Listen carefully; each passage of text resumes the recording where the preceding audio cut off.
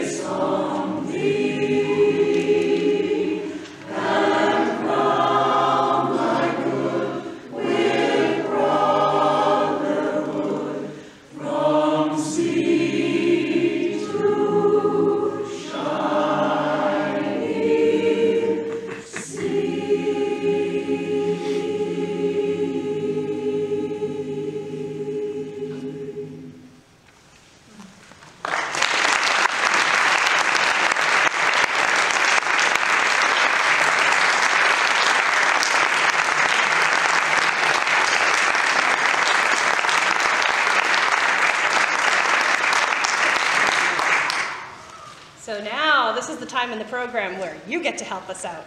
And we have some little friends, uh, some of our, our, our, young, our next generation who are going to come up and sing. Come on up. So if you are someone who is little and who would like to come up and sing, you're welcome to come up.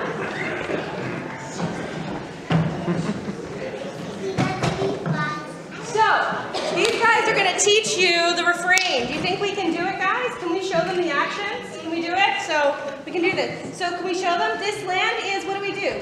Your land.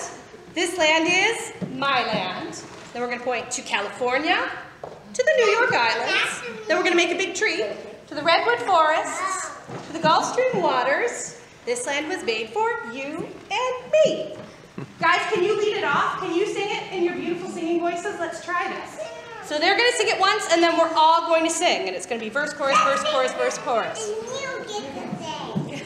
Yes, I'll, I'll sing with you, okay? Here we go. One, two, three, go.